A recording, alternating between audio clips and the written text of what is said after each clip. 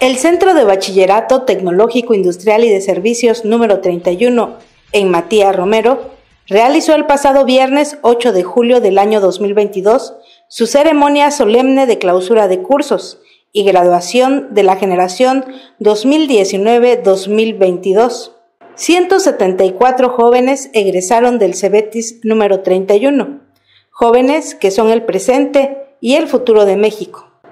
Después del acto cívico, se presentó a las personalidades que integraron la mesa de honor.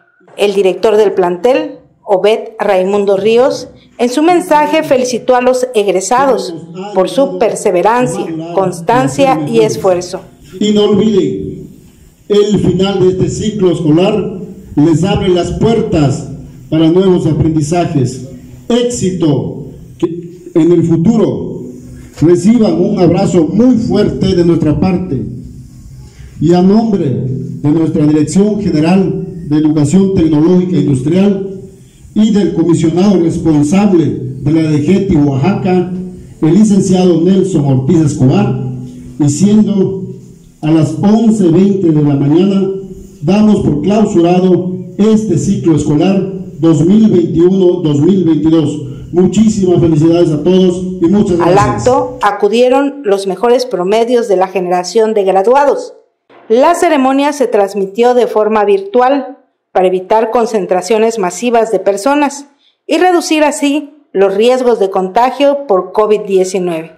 La Casa de la Cultura de Matías Romero, dirigida por el maestro Arturo Gutiérrez, presentó dos bonitas danzas y en el marco de la Guelaguetza los asistentes a la ceremonia de graduación disfrutaron del baile Flor de Piña.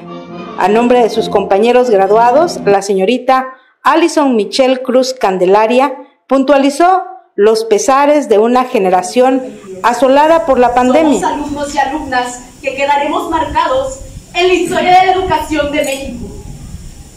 Una generación que estuvo más de dos años confinada, que la escuela fue nuestra casa. Es por eso que este triunfo y los que se aproximan serán dedicados a ustedes, quienes son nuestro mayor anhelo. Muchas gracias, forjadores de sueños y elemento inspirador para seguir creciendo. Compañeros y compañeras, les deseo el mayor de los éxitos, la sabiduría y serenidad para tomar decisiones que forjarán el resto de nuestras vidas. Enhorabuena, muchas felicidades y de esta forma, con sentimientos encontrados, entre la alegría de cumplir una meta y la emoción de comenzar una nueva etapa en sus vidas, los jóvenes egresados del Cebetis número 31 agradecieron a sus maestros, se tomaron la foto del recuerdo y resaltaron que pondrán en alto el nombre de su escuela, de su comunidad y de su estado.